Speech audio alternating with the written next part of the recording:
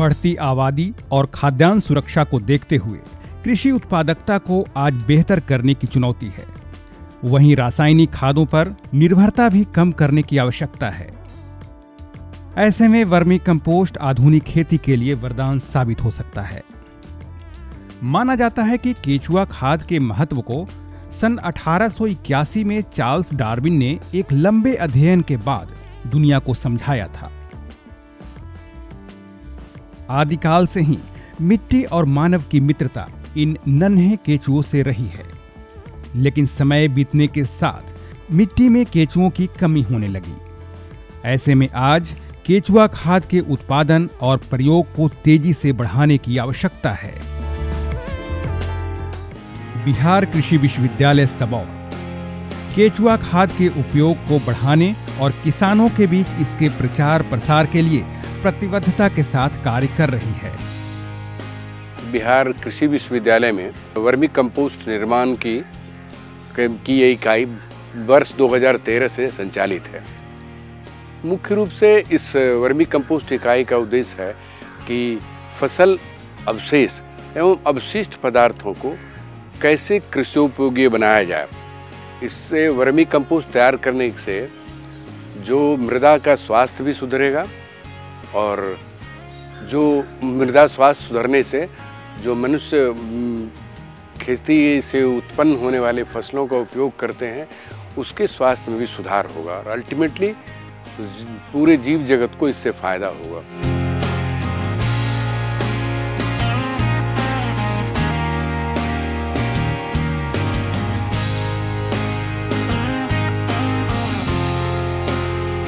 हम जहाँ पर इस समय खड़े हैं ये हमारी कमर्शियल यूनिट है और इस यूनिट को हम, हमारे वैज्ञानिक डॉक्टर ए के झा की मदद से इसको इस्टेब्लिश किया गया था, जिसको कि आज हम लाभ में अपने इसके पैकेजिंग ब्रांडिंग और मार्केटिंग से आज इस बिहार कृषि विश्वविद्यालय को वर्मी कंपोस्ट को खरीदने के लिए, चूँकि ये संवर्धित वर्मी कंपोस्ट है, इसकी डिमांड हम पूरी नहीं कर पाते हैं। हमारे बिहार प्रदेश के किसान इससे लाभ ले रहे हैं। सरल शब्दों में कहें तो कृत्रिम विधि से केचुआ पालने को वर्मी कल्चर और इन्हीं केचुओं द्वारा बेकार कार्बनिक पदार्थों से जैविक खाद बनाने की प्रक्रिया को ही वर्मी कंपोस्ट या केचुआ खाद कहते हैं। मुख्य तौर पर केचुआ खाद को दो विधि से बनाते हैं, एक टैंक विधि और दूसरी ढेर विधि।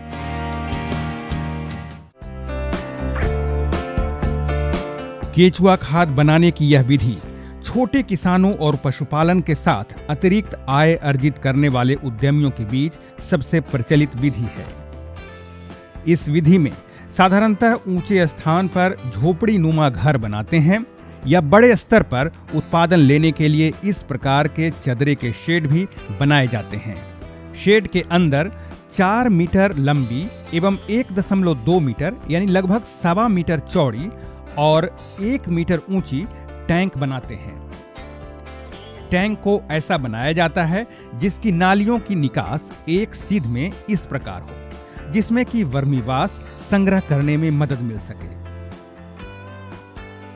टैंक तैयार होने के बाद अब इसमें वर्मी कंपोस्ट बनाने की प्रक्रिया शुरू कर सकते हैं। हम आपको यहाँ इनरिस्ट यानी संवर्धित वर्मी कंपोस्ट बनाने की विधि बताएँगे। सबसे पहले 60 प्रतिशत गोबर और 40 प्रतिशत फ़सल अवशेष में कई तरह के संवर्धक को मिलाकर तीन से चार सप्ताह के लिए छोड़ देते हैं। टैंक विधि में हम कि 10 फीट लंबा 3 फीट चौड़ा और ढाई फीट गहरा हम टैंक बनाते हैं और उस टैंक में नीचे में हम कंकड़ पत्थर डालते हैं।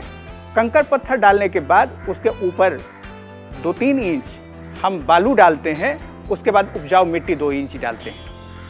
उसके बाद उसे पानी से भली प्रकार हम भिगा देते हैं। भिगा देने के बाद केचुआ को डाल देते हैं। केचुआ डाल देने के बाद इसमें गोबर डाला जाता है और गोबर डाल करके जब ये लगभग दो फीट ऊँचा हो जाता है तो उसके बाद हम उसको जो भी हमारे पास पुराना बोरा हो या फिर कह लीजिए कि आपका पुआल वगैरह वगैरह हो तो पुआल से ढक देते हैं ढक देने के बाद उसकी सिंचाई आप प्रॉपर करते रहेंगे। 21 दिन तक आप उसकी सिंचाई इस प्रकार से करते रहेंगे कि, कि 60 परसेंट नमी कम से कम उसमें निश्चित रूपेण बरकरार रहे। यहाँ ध्यान देने वाली बात यह है कि बिना संवर्धित तत्वों को मिलाए हुए भी केचुआ खाद बनाया जा सकता है। अगर जिन किसान भाइयों को ये तत्व आसानी से उपलब्ध न हो वो इसे छोड़ सकते हैं। लेकिन ज़्यादा असरदार बनाने के लिए हमने इसमें संवर्धित तत्व को मिलाया है। संवर्धित वर्मी कंपोस्ट बनाने के लिए प्रति क्विंटल गोबर में 100 ग्राम पीएसबी और सुडोमोनास या एजोटोबेक्टर मिलाया जाता है। इसके अलावा आप एजोला भी मिला सकते हैं। जो कि अब यह गोबर और अन्य मिश्रण के साथ एक संवर्धित वर्मी कंपोस्ट बनने के लिए तैयार है। जो बनने के बाद साधारण वर्मी कंपोस्ट से ज़्यादा असरदार होगा। टैंक में केचुओं को बराबर मात्रा में डालते हैं। प्रति टन गोबर में 1000 से 2000 केचुआ डालना चाहिए। अब इसके ऊपर पहले से तैयार मिश्रण युक्त गोबर को डालते हैं। समान रूप से गोबर डालने के बाद दो से चार इंच मोटी पुआल या सूखी पत्तियों की परत बना देते हैं। आप चाहें तो जूट के बोरे से भी ढक सकते हैं। इसके ऊपर समय समय पर पानी की फुहार देते रहें ताकि इसमें पर्याप्त नमी बरकरार रहे। अब केचुओं ने अपना काम करना शुरू कर दिया है। बीच बीच में इसका आप निरीक्षण करते रहें। ऊपर में आपके चाय के पत्ती जैसी संरचना बनने लगेगी। तब आप उस पुआल को हटा देंगे और चाय की जो आपकी पत्ती जैसी संरचना है, जिसको आप बर्मी कास्ट कहते हैं या बर्मी कंपोस्ट कह लीजिए कहते हैं, उसको आप ऊपर से हटा लेते हैं, हटा करके फिर इसकी सीविंग कर लेते हैं। सीविंग करने के लिए आप इसको 4 एम mm की जाली से 90 प्रतिशत इसकी जो भाग है वह इससे निकल करके चला जाए, ये चीज़ ध्यान रखना चाहिए। 20 से 25 दिनों के बाद अब वर्मी कंपोस्ट तैयार होने की प्रक्रिया में आ गया है। चाय पत्ती की तरह इस प्रकार दानेदार होने के बाद बीच बीच में वर्मी कंपोस्ट निकालते रहें और इसे छाएदार जगह में एकत्र करें। फिर चार एम की जाली से चाल लें। अब यह वर्मी कंपोस्ट पूरी तरह से खेतों में देने के लिए या पैकिंग कर बेचने के लिए तैयार है। यहाँ से निकले हुए वर्मी वाश भी काफ़ी महत्वपूर्ण है। इसे इकट्ठा कर फ़सलों में देने से काफ़ी फ़ायदे होते हैं। यदि आप इसमें से बर्मी वास प्राप्त करना चाहते हैं तो आप टैंक में, टैंक तो वैसे भी ढालू होता है, उसके एक सिरे पर ऑलरेडी छेद होता है तो उसमें से 21 दिन तक आप पानी डालते रहें और जो कुछ पानी निकलता है उसे आप बेकार फेंक दें। और 21 दिन के बाद जो पानी इकट्ठा हो रहा है, उसको आप इकट्ठा कर लें, यही बर्मीवास है। इसमें 10 परसेंट ये बर्मीवास 10 परसेंट गोमूत्र और 80 परसेंट पानी यानी कि 100 एम एल बर्मीवास 100 एम एल गोमूत्र और 800 एम पानी मिला करके इसका छिड़काव करने से बहुत सारी कीड़ा संबंधी समस्याएँ जो फ़सलों में पाई जाती हैं, उस पर भी नियंत्रण पाया जा सकता है। ढेर विधि ढेर विधि में टैंक विधि की अपेक्षा कम खर्च और संसाधन में वर्मी कंपोस्ट उत्पादन किया जा सकता है। टैंक विधि के समान ही ढेर विधि की शुरुआती तैयारी की जाती है। यानी 60 प्रतिशत गोबर और 40 प्रतिशत फ़सल अवशेष के साथ संवर्धित तत्वों को मिलाना और फिर उसे तीन से चार सप्ताह के लिए पुआल से ढककर छोड़ देना। अब इन ढेर के ऊपरी हिस्से में इस प्रकार से क्यारीनुमा गड्ढा बना लेते हैं और इसमें केचुओं को समान रूप से डालकर ढक देते हैं। केचुओं की संख्या प्रति टन गोबर में एक से दो हज़ार होनी चाहिए। 20 से 25 दिनों के बाद जब चाय की पत्ती की तरह ऊपरी परत होने लगे तो इसे आप इस प्रकार से अलग कर लेते हैं और छायेदार जगह पर इकट्ठा कर 4 एम की जाली से चाल लेते हैं और आपका वर्मी कंपोस्ट तैयार हो जाता है। कम खर्च में केचुआ खाद उत्पादन। किसान भाइयों अगर आप बिना संसाधन या कम खर्च के वर्मी कंपोस्ट उत्पादन करना चाहते हैं तो यह भी संभव है। आपके ड्योढ़ी दलान या फिर पशुओं के आवास के आसपास जगह तो होती ही है। ढेर विधि से आप इस प्रकार के साधारण फूस की झोपड़ी या किसी भी खाली पड़े छायेदार जगह पर इसे बना सकते हैं। यहाँ तक कि आप अपने बागीचे में भी वर्मी कंपोस्ट उत्पादन कर सकते हैं। आप अपने खेतों के आसपास इस तरह से गड्ढे बनाकर भी वर्मी कंपोस्ट उत्पादन आसानी से कर सकते हैं। स्वरोजगार के लिए अपनाएँ केचुआ खाद उत्पादन। आज जबकि युवा रोज़गार के लिए कई तरह के विकल्प की तलाश कर रहे हैं, वैसे में केचुआ खाद उत्पादन को भी सरलता से स्वरोजगार का साधन बना सकते हैं। आपके पास अगर निवेश के लिए कम पैसे हों तब भी आप खाली पड़े इस प्रकार के जगह में ढेर विधि से काफ़ी मात्रा में केचुआ खाद उत्पादन कर सकते हैं और आसानी से अपने आसपास के इलाके में बेच सकते हैं। जैविक खेती के बढ़ते प्रचलन के बीच केचुआ खाद की मांग दिनों दिन बढ़ती जा रही है। अगर आपके पास निवेश के लिए पैसे हैं, तब आप व्यवसायिक स्तर पर इस तरह के प्लांट लगाकर केचुआ खाद की पैकिंग और ब्रांडिंग कर बड़े स्तर पर केचुआ खाद का व्यवसाय कर सकते हैं।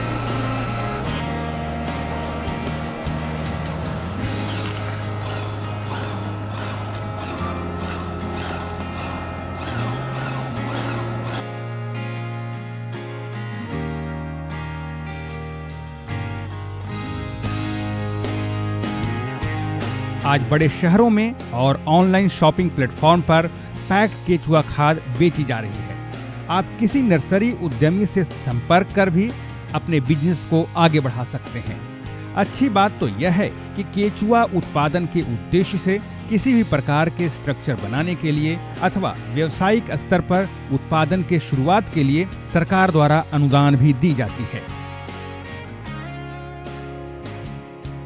बिहार सरकार ने बर्मी कंपोस्ट व्यवसाय को बढ़ाने के लिए इसमें सब्सिडी की भी घोषणा कर रखा है। और इसमें मोटे तौर पर आपको 40 परसेंट सब्सिडी दी जाती है। तो यदि आप बिहार में इसका चाहते हैं तो निश्चित रूपेण आप ज़्यादा बढ़िया से आप इसको कर सकते हैं। कारण यह है कि यदि पूरे देश के परिप्रेक्ष्य में यदि हम देखें तो 110 लाख टन एनपीके आपको मिल जाता है, जो जितना हमारे पास गोबर है उससे। और लगभग चौहत्तर लाख टन आपको एनपीके मिल जाता है, जो फ़सल अवशेष है उसमें। तो गोबर यदि 60 परसेंट और 40 परसेंट फ़सल अवशेष मिला करके यदि हम करते हैं, और बिहार हमारा सातवें नंबर पर है तो यहाँ पर बर्मी कंपोस्ट की असीम संभावना है। तो जो हमारे यहाँ के नवयुवक हैं, जो हमारे उद्यमी हैं, वो इसमें आना चाहते हैं तो सरकार भी उनका जो है, क्या कहते हैं, सपोर्ट कर रही है, और 40 परसेंट अनुदान भी दे रही है, उसका भी फ़ायदा वो प्रोजेक्ट बना करके और सेक्रेटेरिएट से ले सकते हैं। बिहार कृषि विश्वविद्यालय सबौर। वर्मी कंपोस्ट के बारे में आप सभी किसान भाइयों को संपूर्ण जानकारी और प्रशिक्षण के लिए प्रतिबद्धता से कार्य कर रही है। आप यहाँ से संवर्धित केचुआ खाद खरीद सकते हैं। केचुआ खाद उत्पादन करने के लिए केचुआ खरीद सकते हैं। एजोला पिट लगाने के लिए एजोला ले जा सकते हैं। और समय समय पर चलने वाले प्रशिक्षण में भाग लेकर केचुआ खाद बनाने की विधि भी सीख सकते हैं। आज कई किसान और उद्यमी यहाँ के शानदार मॉडल को देखकर और यहाँ से प्रशिक्षण लेकर बेहतर तरीके से केचुआ खाद उत्पादन कर रहे हैं।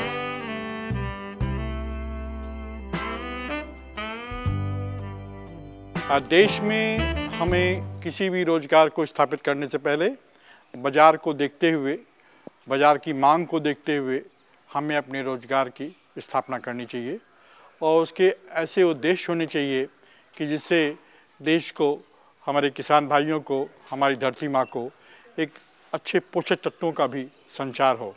यह वर्मी कंपोस्ट।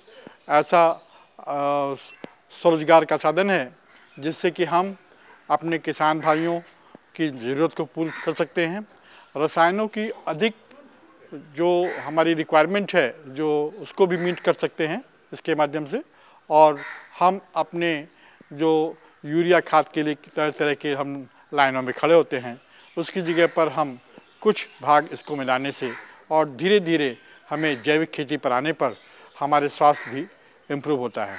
इस तरह के कार्यक्रमों से हम वर्मी कंपोस्ट के उत्पादन से हम अपने देश ही नहीं अपने समाज के लोगों को अपने सभी आ, किसान भाइयों ही नहीं अपने देश के सभी को सपोर्ट करेंगे जिससे कि हम अपने इन उत्पादों से अपने जो न्यूट्रिशन मिलने के कारण उन सब की बौद्धिक क्षमता भी बढ़ेगी और उनका स्वाद में भी बहुत अच्छा इजाफा होगा, जिससे हम अपने जो हमारे है कि हमारी ज़मीन सुरक्षित रहे, स्वस्थ रहे और हम आत्मनिर्भर हों, इसके लिए एक रोज़गार के रूप में भी ये बहुत कारगर सिद्ध होगा।